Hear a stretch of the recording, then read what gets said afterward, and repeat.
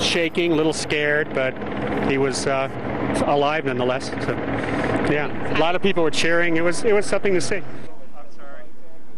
It has a collar and a leash, but there's no identification. So we gave it over to the park rangers. They're going to take it to the shelter, see if they can identify with a microchip.